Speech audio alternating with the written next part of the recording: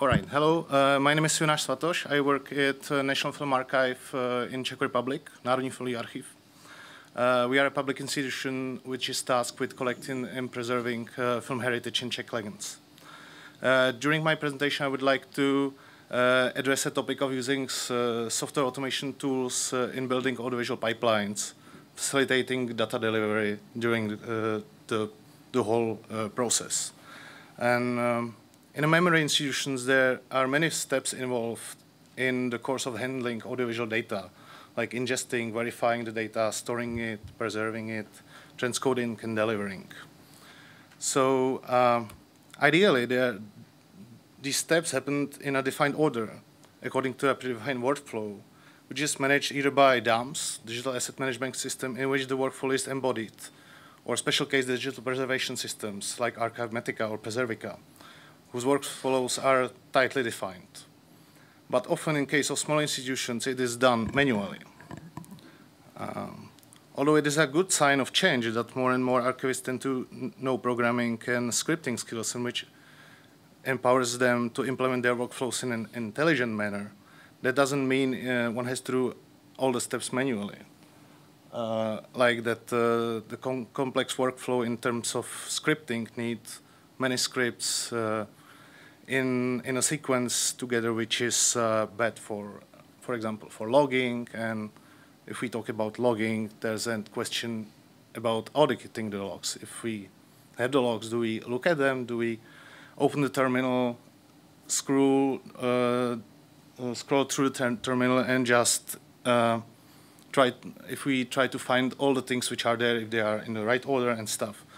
Uh, what do we do if, we, if one uh, closes the terminal, the tasks just disappear. So that th this is one of the questions that uh, we probably need to tackle in terms of uh, uh trying to uh, to get the workflow to be deterministic, right? Because uh, one couldn't say that manually triggering scripts is very deterministic because there can be or we all know the scenario, scenario where an, an archivist happened to simulate a role of the machine, right? Manually triggering scripts and copy tasks, uh, or manually inspecting the log output. And uh, this can, uh, oh, sorry. This can lead to variations in quality, non-standard uh, standard processing time, or human errors, like that somebody just forgot to make a checksum, and somebody else finds out several years later what to do with it. Yeah. Um, so it is without doubt that an archivist should rather let the machines to do the heavy lifting and use his or her precious time to do other things like figuring out corner cases or writing a better code. Uh, so what we uh, what if we had a system in place which could def uh, define a deterministic pipeline according to the required workflow Fortunately, we can just reuse some of the tools which were invented in other IT domains to solve these kind of problems. These are called automation or orchestration systems. Um, these applications allow the user to specify the inputs, like an ID of the work in the database or a file name, define particular steps, like taking the file, checking its fixity, transcoding it, do validations on these outputs, and notify the user about the result, preferably with a nice web-based GUI, which can be used remotely, uh, regardless of, of, the location. And one doesn't need to write the scripts again. We can just reuse the, the scripts which are there, or either our scripts in the institution or some scripts lying in a Git repository like IFI scripts from Kieran uh, which can then be used in the, in the pipeline uh, according to their inputs. And there are several, several solutions which were invented in the IT domain. Uh, sorry, I just made one slide, sorry. Um, uh, which, uh, which tackle this kind of problems and mostly these, uh, these systems are based on agent model. So we have several slaves which connect to the master, and the master sends the uh, the task, excluding the Ansible, which is a stateless model, which I'm not going to talk about uh, during my talk. But what I'm going to talk about is uh, Jenkins, uh, and it's why why will I talk about it because we uh, using it we're using it extensively at NFA to a great success for both technical and not te technical people, mainly for its GUI, of course. Uh, it's a web application for managing process of building software originally, so-called continuous integration system. Uh, but it is, a, it is a generic system for automating labor-intensive IT tasks. We can use it also for digital preservation tasks as well. Furthermore, it has uh, an API, which with we can integrate it with uh, pre-existing applications, extending them, their functionality.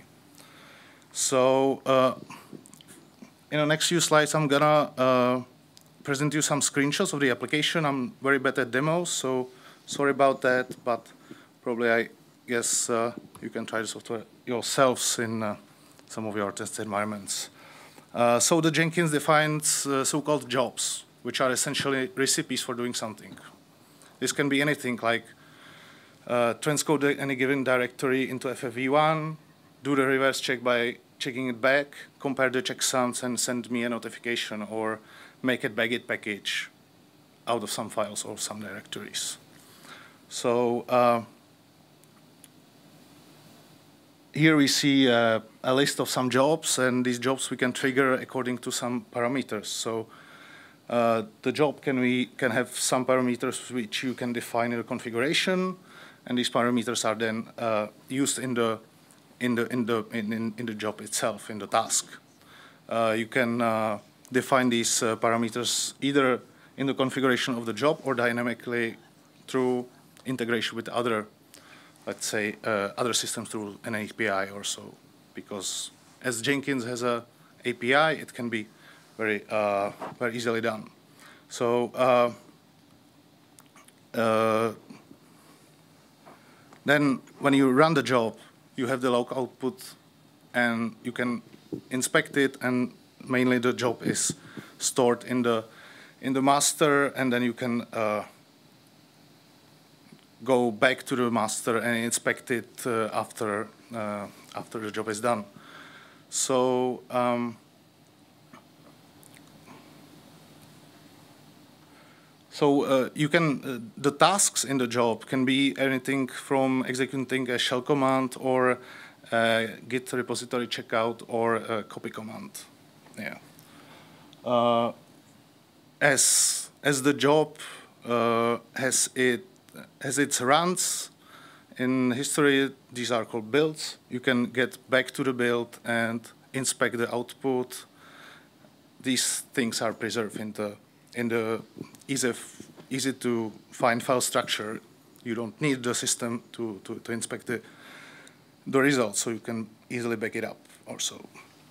And you can change the, the jobs between themselves by having uh, uh, conditions, and according to these conditions, it can do something or it can uh, catch some error cases, corner cases, and stuff. Uh, and I was telling you that uh, Jenkins is an agent-based system. So basically, you can have a server farm on which uh, every node in the farm has an agent, and the, the agent is connected to a master. And then you have tags on uh, the executive uh, nodes, and according to a, a parameters in the job, they trigger only on the on the node which is which has the tag.